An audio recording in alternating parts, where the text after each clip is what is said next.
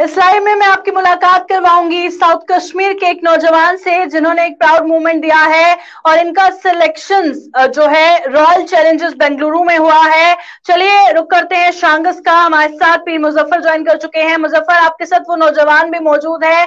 ज़ाहिर तौर पर एक प्राउड मूवमेंट है सभी के लिए। मुलाकात करवाइएगा हमारे व्यूअर्स आ, बिल्कुल प्रियंका सबसे पहले जो हमारे वेल विशर से हमारे नाजर के नाम है उनको प्यार भरा अस्सलाम आदाब।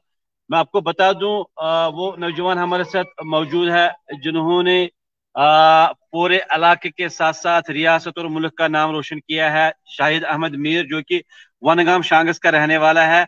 आ, पढ़ने के साथ साथ क्रिकेट के साथ काफ़ी लगाव था इनका। तो मिलाकर आज इनको वो अपनी जो कहते हैं ना कि एम ऑफ़ लाइफ शायद वो अब मिलने वाली है। और इनको ट्रायल बेसिस पे फ़िलहाल इस वक्त आरसीबी रॉयल चैलेंजर्स बेंगलोर ने नेट प्रैक्टिस में इनको फ़िलहाल हिस्सा लेते हुए वहाँ पे इन्होंने शरीक किया। बाकी बात करेंगे शाहिद साहब से। शाहिद भाई, आपका खैर मुकदम है हम थोड़ा बताए इस सफ़र के हवाले से। जी तो सफ़र जो पहले से ही स्टार्ट था मतलब बचपन से ही खेलते थे तो टेंथ से ही लोकली खेलते थे तो उसके बाद इंटरेस्ट और बढ़ा क्रिकेट का। तो उसके बाद मैटिंग से स्टार्ट मैटिंग क्रिकेट से नॉर्मली स्टार्ट किया तो उसके बाद मैंने मुझे लगा कि मुझे क्रिकेट को एज ए प्रोफेशनल प्रोफेशनल में लेना चाहिए। तो उसके बाद मैं एज ए बेंगलुरु में गया तो वहाँ पर मैं अकेडमी ज्वाइन कर लिया था। तो वहाँ पर मैं, मैं एक साल मेरा कंप्लीट हो गया था वहाँ पे। तो वहाँ पर जो उसके बाद जो आरसीबी का कैंप लगा वहाँ पे तो उसमें उन्होंने ट्रायल्स कराए।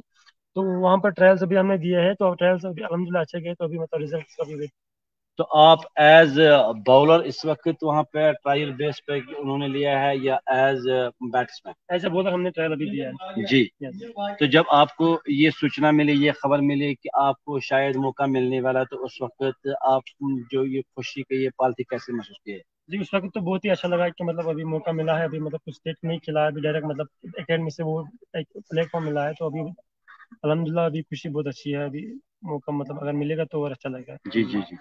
शायद इंसान जब कोई मंजिल पाता है बहुत से अप्स एंड डाउन देखने पड़ रहे हैं इस दौरान जो आपने ये सफ़र वहाँ पर किया है तो मुश्किल और दिक्कतों का भी सामना करना पड़ा लेकिन आपने हिम्मत नहीं हारी। तो क्या मैसेज रहेगी जो बाकी इस वक्त यूथ है? जी मतलब अगर कुछ आना हो तो मतलब मुश्किल तो आती रहती है जैसे मतलब कुछ भी मतलब करना हो तो मतलब हर एवरीथिंग में मतलब मुश्किल तो हर कोई में रहता है। जब कोई भी चीज़ रहे तो मतलब इजी कोई इजी वे में कोई नहीं मिलता। तो वह मेहनत तो हर एक चीज़ में करनी ही पड़ती है। तो उसकी वजह से मतलब जो भी यूथ है उसको मैसेज यही कि मतलब जो भी उनको अच्छा लगता है प्रोफेशन है उनका उसमें मेहनत करें अपने हंड्रेड परसेंट दे बाकी तो पेरेंटों का कितना सपोर्ट रहा है जी घर वालों का तो मतलब पूरा सपोर्ट रहा है और खासकर भाइयों का मतलब पूरा एकदम सपोर्ट रहा है मतलब उसमें कोई प्रॉब्लम नहीं रही मतलब जो भी मतलब चाहिए था इजीली मुझे अवेलेबल रहा उस टाइम आ, बिल्कुल प्रियंका आपने खुद यहाँ पे इस वक्त सुना है कि जो शाहिद के तासुरात है बड़े खुश लग रहे हैं। इनका ये कहना है कि इस कामयाबी के पीछे आ, हर वक्त किसी न किसी का हाथ होता है तो वो मेरे पेरेंट्स है जिनने हर वक्त मुझे सपोर्ट किया वोट दिया जहाँ पे भी मुझे लगा कि उनकी ज़रूरत है तो मुझे वो पेश पेश रहे। जी मैम बिल्कुल एक आखिरी सवाल कीजिएगा मुजफ्फर कि क्या इनका सपना है किससे मिलना ये चाहते हैं कौन इनका इंस्पिरेशन है इसके लिए जिसके लिए इन्होंने इतनी मेहनत की? शायद हर एक के जहन में कोई ना कोई ख्वाब होता है कोई कोई सपना होता है तो आपके जहन में कोई ऐसा ख्वाब है जिससे आप आ, मिलना चाहते हैं जो आप रोल मॉडल बनना चाहते हैं अपने इस स्पोर्ट्स के फ़ील्ड में? जी मतलब क्रिकेट के रिलेटेड मतलब ऐसे मैं फास्ट बॉल लेना चाहता हूँ तो मतलब देखिए ऐसे देखिए तो मतलब इंडिया में तो मतलब बहुत सारे प्लेयर्स ऐसे जैसे बुमराह है शमी है तो मतलब बहुत सारे प्लेयर्स ऐसे जिनका नाम ऑलरेडी मतलब अच्छा है वो अच्छा खेलते हैं तो मतलब एज अ मॉडल उनको लेते हैं मतलब उनसे सीखने को मिलता है उनके वीडियोस देखते हैं। उनसे मतलब मोटिवेशन उनका मतलब बैकग्राउंड देख मतलब देखते थे वो कैसे फैमिली से आए थे उनका मतलब कैसा मतलब स्ट्रगल रहा था क्रिकेट रिलेटेड किसी काम के रिलेटेड कैसा स्ट्रगल रहा था तो उसको देख के मतलब मोटिवेशन मिलती है। तो उसे ऐसा लगता है कि नहीं अगर उन्होंने किया तो हम भी इजिली कर सकते हैं वैसा मतलब। तो अगर कभी कभार आपको इंडिया की एक टीम में जगह मिली तो उस वक्त आपकी खुशी खुशी कितनी होगी? जी उस वक्त तो बहुत खुशी होगी मतलब जो ड्रीम है मतलब वो उस टाइम मतलब कंप्लीट हो जाता है।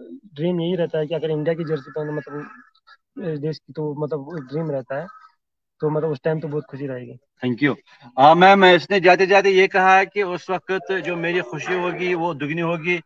अगर मुझे जो भारत की ए टीम है उसमें हम मैं जगह पाऊँ और जो उनकी जो यूनिफॉर्म है वो आ, मैं ये चाहता हूँ कि मैं जो जर्सी वो कब में पहनूँ। पहनूं और ये इसका भी, ये भी एक सपना है कि जो मेहनत अभी तक मैंने की है, शायद वो रंग ला रही है, लेकिन और भी कुछ इम्तिहान है जिनको मुझे अभी तक पार करना बाकी है। जी मैम।